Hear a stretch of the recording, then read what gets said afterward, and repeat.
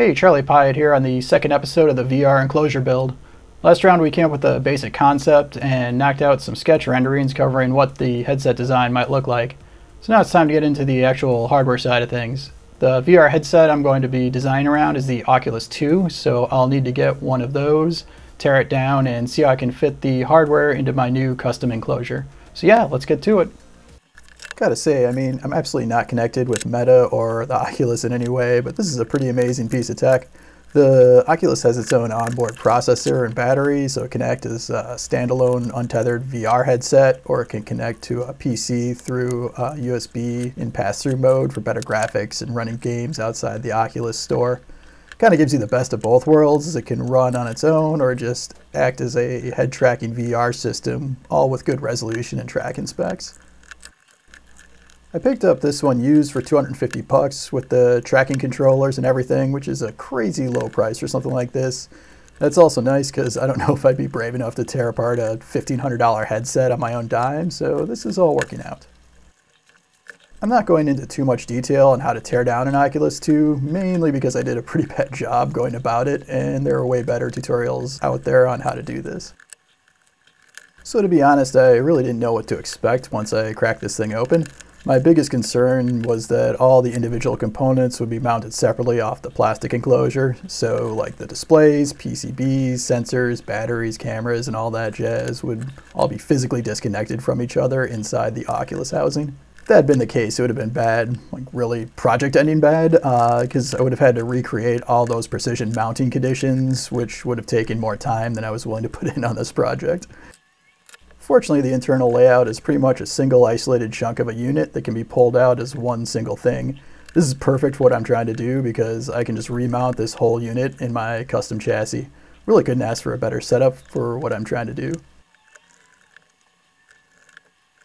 Right, so rundown of what's happening here. Uh, you can see the main PCB, which is essentially a smartphone, uh, is laid out right behind the displays with a cooling fan on the front. There are four infrared cameras around the edge of the unit. These are for tracking the position of the touch controllers. You can see that these are attached to the main assembly and have to be in a very specific angle and orientation to make sure the hand tracking is accurate and doesn't drift. I'm guessing these cameras are affixed to this main assembly earlier in the manufacturing process so they can be QA tested and possibly calibrated before going into the plastic enclosure. In large consumer electronic projects like the Oculus, you can see a lot of time and effort goes into assembly sequence to minimize risks. You can see that in the parts that are not on this main assembly too. The buttons and ports are all connected through flex print circuits or FPCs. This means that if there needed to be a design change to the outside enclosure and these components had to move a couple of millimeters, it would be okay. You wouldn't need the electrical engineering team to do any redesign work. So end of the day, this is all good news for me. I can leverage all those cost-driven decisions from manufacturing constraints to repurpose the Oculus into something new that's just for me much more easily. So next up, I need to get a digital model of the Oculus hardware into 3D space so I can start building my new enclosure around it. There are hundreds of 3D modeling software options out there, but very generally you can separate them into two basic categories, parametric modelers and direct modeling software.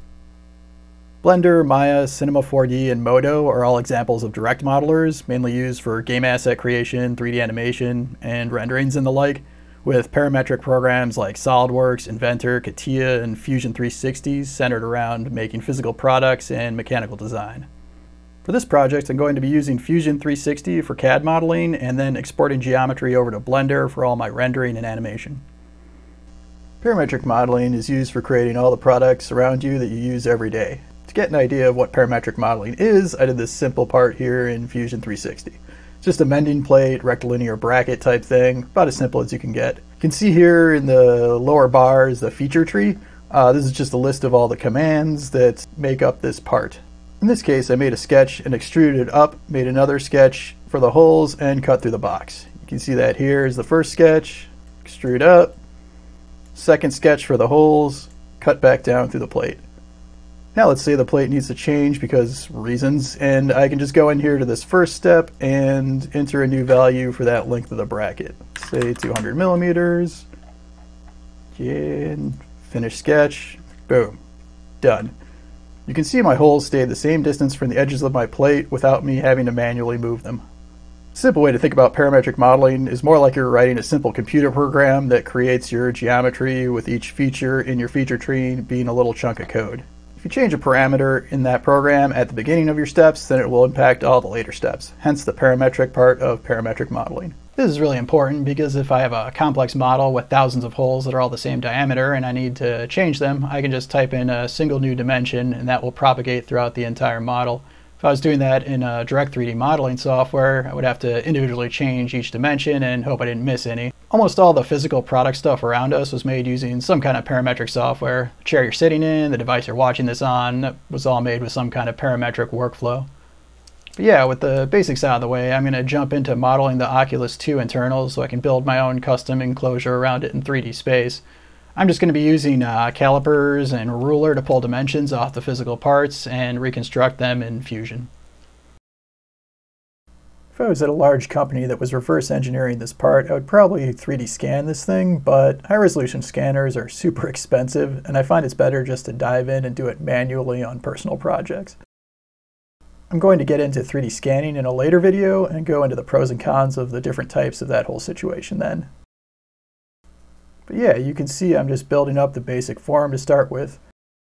I don't need to be absolutely spot on in most places, I really just need the cameras and mounting points to be semi-accurate in order to make this work. I absolutely didn't need to model those blades in, but I'm new to Fusion 360 and wanted to try some different modeling techniques just to get more comfortable with the software.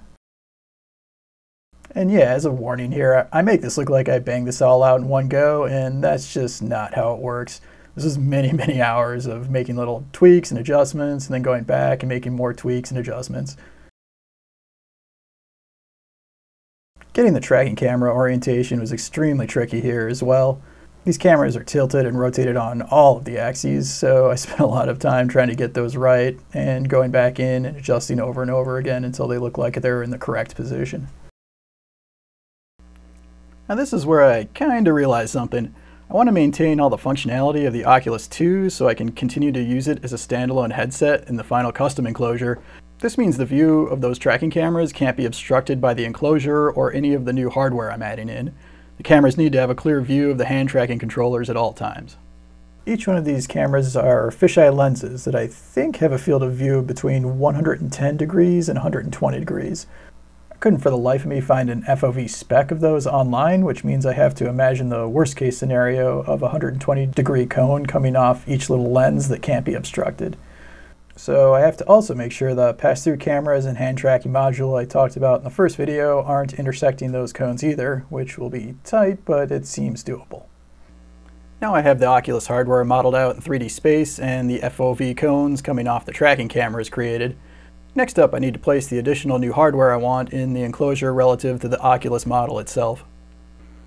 If you remember from the last episode, this is actually an AR simulator that will have hand tracking and forward-facing camera hardware integrated into it. The hand tracking system I will be using is the Ultraleap IR170, which is a little bar that will go in under my forward-facing cameras. The forward-facing camera I'm using here is a Stereolab Z Mini, which will supply a high-resolution video feed back to the Oculus. Both those modules have to tuck inside the space created by the field of view cones coming off the Oculus, it's a tight fit, but it looks like everything is working out so far. For now, I'm just placing those parts in 3D space with no supports, but I will go back in and draw a bracket for those once I have a better idea about the headset details. All this is just establishing the hard points that I will model around in the next steps. So yeah, this is actually great. I can use these FOV cones at each of the four corners of the design to hew out chunks from my custom enclosure. Sort of like cutting out geometry from a block of clay. Whenever functional constraints like this start coming into play, it almost always makes the final design better. It sort of just cranks up the level of ingenuity you have to bring to the table and forces creative solutions out of you. I'm now shelling out the enclosure to make sure I'm thinking about the internal space I have to work with to fit my hardware into. I'm also starting to get into those carbon fiber infill parts. Those will need to be machined out of 2mm carbon fiber sheet stock, so I have to create a lip in the main enclosure to receive all those plates. You can see I also surrounded all the camera lenses on this thing with 3D printed parts. There are 10 cameras shooting out of this guy now that the Oculus Z Mini and Ultraleap are in place. If any of those are out of alignment, and they will be, I can hopefully just make an adjustment to those small 3D printed parts instead of uh, reprinting the entire enclosure or having to recut all the carbon fiber parts. I'm now getting into the lip that will receive the custom face gasket. This lip will run along the entire enclosure edge and capture the soft gasket material.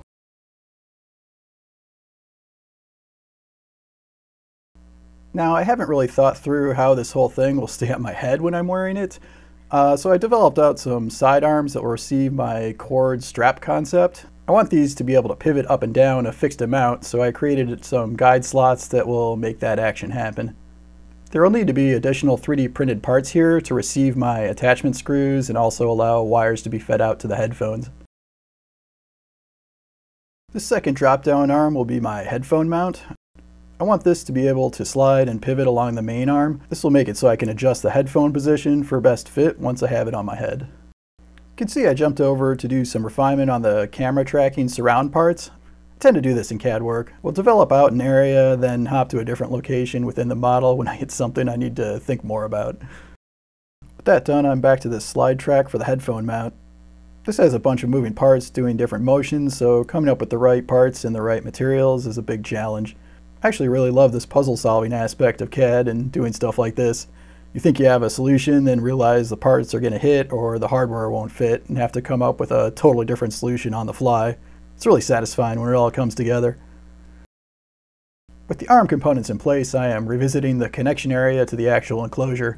I realized I wasn't going to get the amount of rotation I wanted out of the arm, so I did some updates to get a larger angle of adjustment out of it. Finally, I made an internal cap that will secure the arm on the assembly. This cap will spin with the arm and hold some threaded inserts so I can attach the arm with machine screws.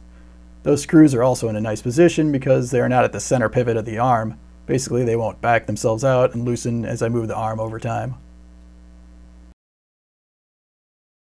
Probably also noticed I'm only building one side of the assembly. Enclosure is mostly symmetrical, so I can just mirror everything over to the other side once I'm happy with the design and save a whole lot of time.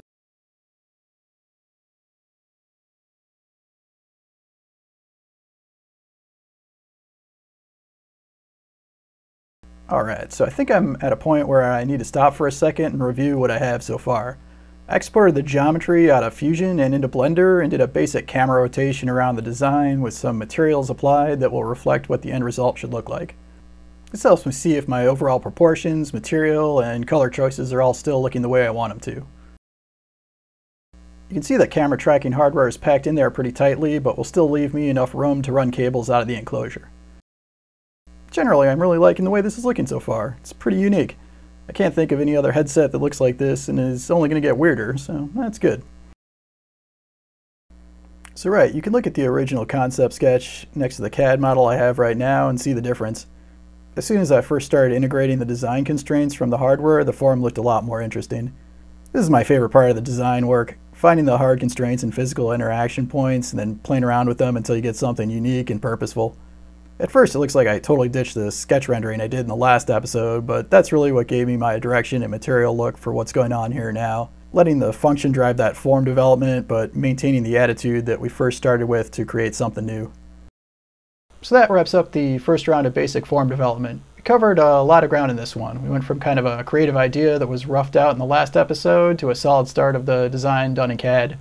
Next episode, I'm going to do a one-to-one scale model of the design to make sure the proportions are working in real-world space before moving on. Thanks for watching, and I'll see you next time.